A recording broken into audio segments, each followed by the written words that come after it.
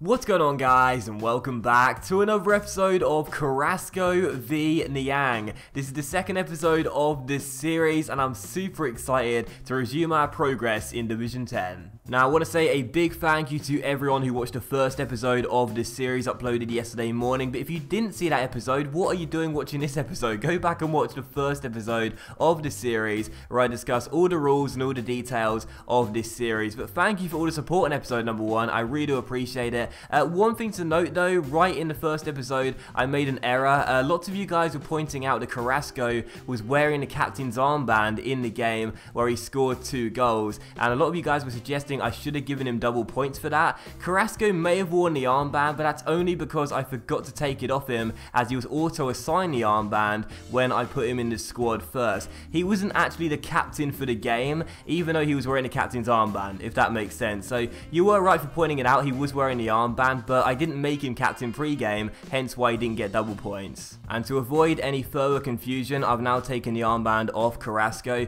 but basically when a player is going to be made captain and eligible for double points in that game, I will tell you before the game and then try and remember to give him the captain's armband in our squad as well. That way you'll know who's going to be captain for that game because I'll tell you before the game starts and you'll know when they get double points. And of course in the last episode we won the series opener by 4 goals to 1. Carrasco and Niang combined for a total of 13 points. That meant we were 2 points shy of being able to buy a new silver player to our squad but we can buy a new bronze player as we just need 10 points plus for that. So I'm going to exercise that right straight away in today's episode, bringing a new player to our squad to give Niang some more chemistry. Koulibaly, a left winger that plays in Ligue 1. He's French. That will help for Niang's chemistry. Get him up to 6, I think it is. And that will be really, really important because right now, I think he's on 3, and that's just terrible. And in today's episode, you're going to see three more games with our team. Hopefully, we can get ourselves promoted to Division 9 in today's episode. We need three wins from three to do that, though, and go up with a title with 12 points. Let's get straight down to it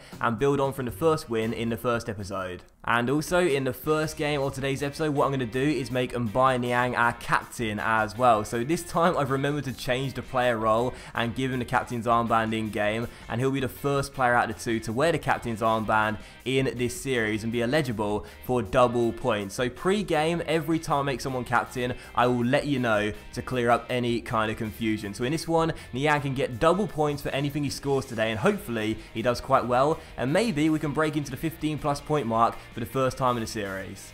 And my opponent has a full Icelandic squad as well, which is kind of interesting because if he scores a goal, I think we might get to hear the chant he have added into the game. The one where the fans clap their hands together and go, Hoo! like that, you know. It's the one they did in the Euros after the games. They, they clap their hands together and go, Hoo! like that.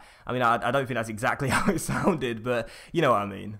So away we go then. First game of the episode against the full Icelandic team. How will we do? Here's Niang wearing the armband today. Offloading towards Carrasco. Down the right hand side. Niang continues his run here. You know what I'm trying to do. Get the ball to Niang. But instead Carrasco's going through all the way to score. Great save by the goalkeeper. We should turn it in and do. And a perfect start. Just two minutes in. We have the lead.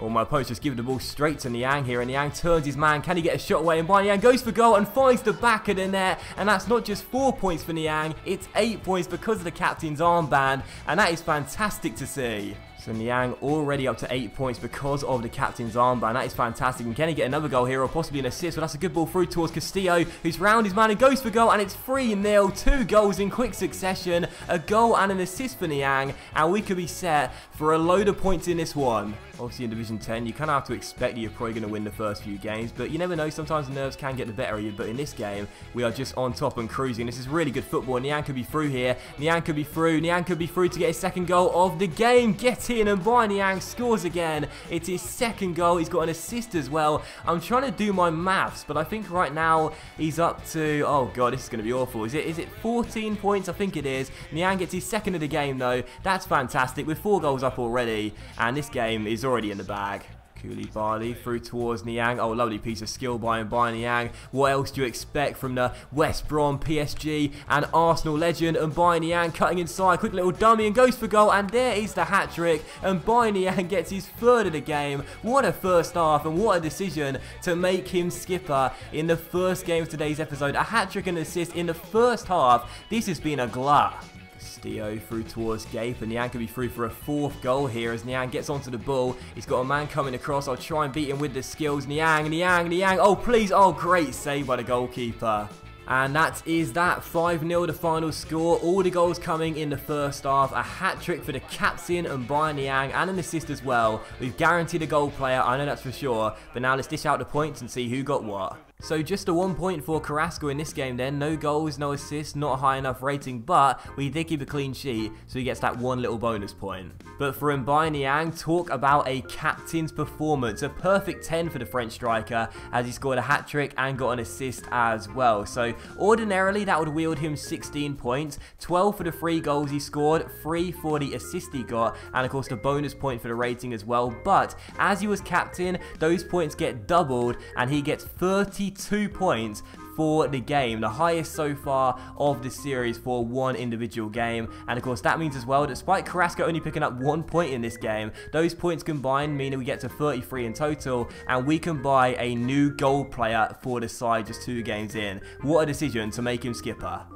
Alright, so now we're going into the second game of today's episode. Not going to buy that gold player just yet. Hold on to the coins for the time being and try and build them up. And uh, also as well, one brief thing to mention. I think my microphone might have been a little bit messed up in the first game. So if it didn't sound too well, sorry about that. But it should be fixed now. And if it's not fixed, then I'm kind of screwed. Because this is the only microphone I have left right now. And I don't really have the money to buy a new one. And as we do go into the second game of today's episode, guys, Brian Carrasco is going to be the captain for the game as well. So he'll wear the armband like he did in game one, but for this one, he will get double points. Alright, and this is my opponent's team for the second game. As you can see, there's a couple of familiar faces in there, including Jesse Lingard on the right-hand side of midfield, but not too much chemistry and not too threatening, only three goal players. I think I should be able to beat it. Niang flicks the ball on towards Carrasco and a chance here early on for captain Brian Carrasco to make it 1-0. Surely Brian them. No, he doesn't. Oh, Wow, I was about to say found the back of the net and I put it into the side netting. But my opponent's just got a man sent off and he's down to 10 men and we've won ourselves a penalty. Silver lining and all that, didn't notice it at first, but uh, yes, my opponent slid in from behind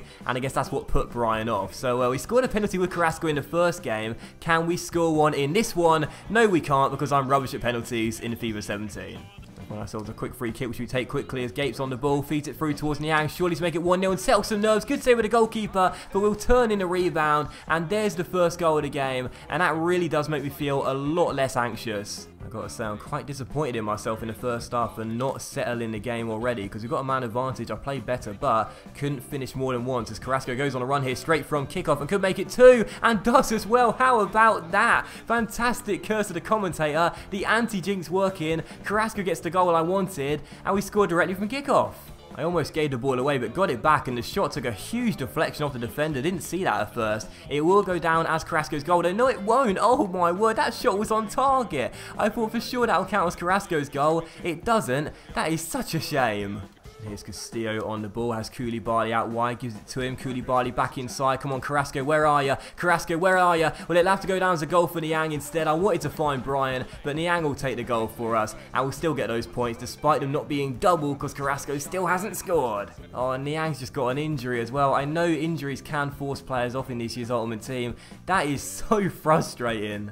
Well, Carrasco's still yet to get a goal or an assist on his debut. So frustrated. He'll get the bonus point for the clean sheet, but doesn't do a lot. But as he wins the ball back here, maybe this is the moment. Maybe this is the moment. Obviously not. But he wins it back again. Carrasco on the ball with a fake shot. Then a heel-to-heel -heel flick. No touch dribble to take it round one. And take it round two. And take it round three. And still Carrasco. Oh, for God's sake. Listen, bro, this is my series, alright? I need to get Carrasco a goal here. Castillo plays a 1-2 with Gabe. It's not Castillo I want to score the goal, though. I don't care about these guys. It's only Carrasco I want to score the goal. For God's sake, Brian, where are you? Put the ball in the back of the net. Oh, for God's sake, that's going to be another own goal. That's the second time Brian has put the ball in the back of the net. The shot's been on target, but you just know that's going to go down as an own goal as well. That was going into the bottom corner, but that will go down as a Lingard own goal. I know that's going to go down as a Lingard own goal. Well, my opponent's quit. No real surprise surprised about that at all. But that's going to go down as a Lingard own goal. That's two own goals and no assists in that game for Brian. Brian doesn't score or get an assist in that game. I can't believe it.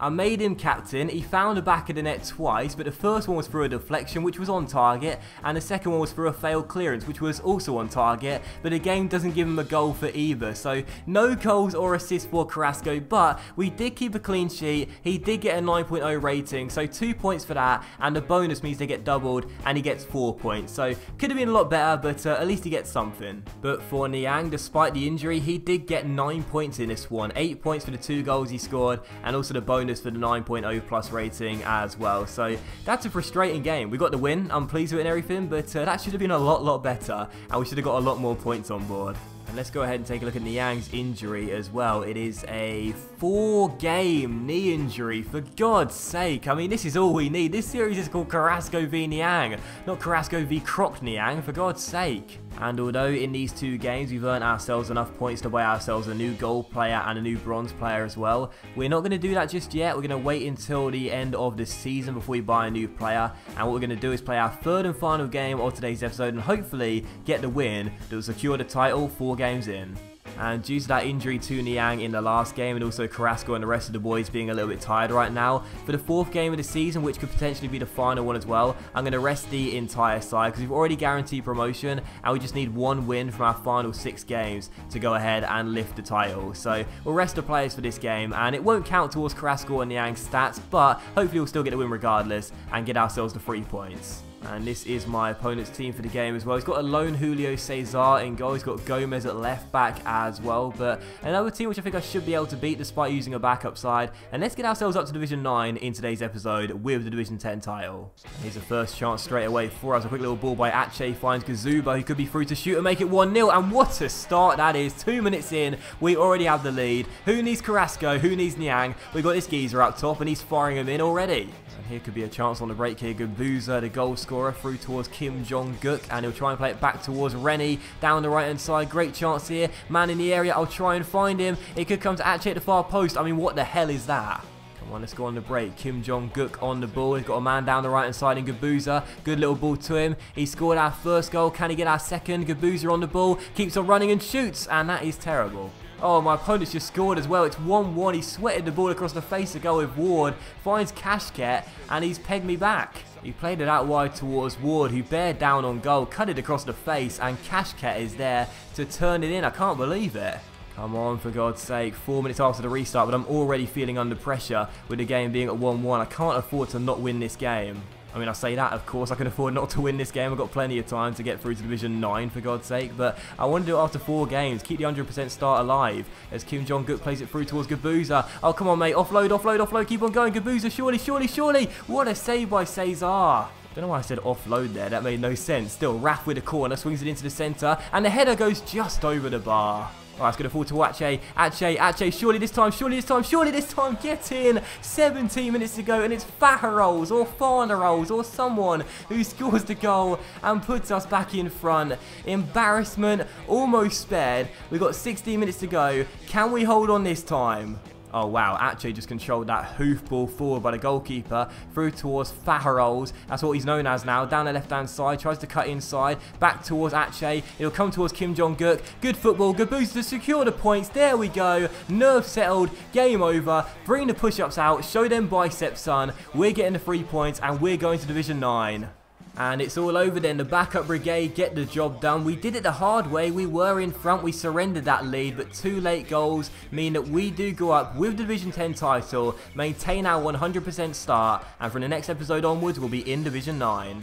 And of course, no Carrasco or Niang on the pitch, so no need to worry about who got what for points. But we do get a hefty helping of coins there, uh, 2,475 in total, as we get ourselves up to Division 9 with that Division 10 title. And it's great to maintain that winning start. And that will end the second episode of Carrasco v Niang. So a big thank you for watching, guys. I really hope you have enjoyed it. And if you have enjoyed today's episode, then please do leave a like. Likes, of course, much appreciated, and they really help the channel grow as well. Much love to you all. Have a fantastic evening, and I'll see you for the next episode of Carrasco v Niang very soon.